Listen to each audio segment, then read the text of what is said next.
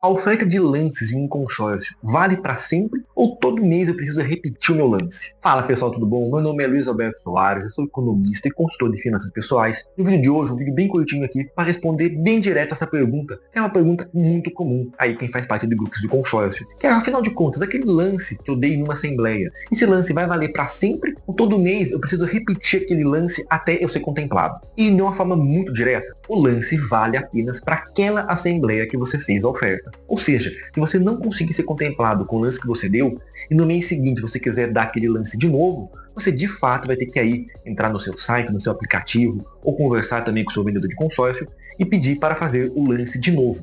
Uma vez que você deu o lance e você não foi contemplado, aquele lance perde a validade, ou seja, ele não vale para sempre. Inclusive aí numa próxima assembleia, você pode ofertar o mesmo lance, o mesmo valor de novo, ou você pode, claro, mudar, aumentar ele um pouquinho, diminuir ele um pouquinho. Ele é livre porque cada lance é completamente independente um do outro. Inclusive uma estratégia bem simples e bem rápida é você deu um lance e não foi contemplado, você verificar novamente direto aí pelo seu aplicativo, pelo site da própria administradora, dar uma olhada no seu grupo de consórcio quais que foram os lances vencedores, justamente para você conseguir aí nos próximos meses calibrar e perceber se você precisa aumentar só um pouquinho, se você precisa aumentar muito, ou se você não consegue chegar naquela faixa de lance que está ganhando, então você sabe que você vai ter que aí esperar alguns meses para juntar um pouquinho mais de dinheiro e de fato oferecer um lance que seja compatível com o que está sendo contemplado no seu grupo. Se você está com alguma dificuldade de conseguir entender ali nos relatórios, nos dados, quanto está sendo os lances vencedores e quanto você precisaria estar tá ofertando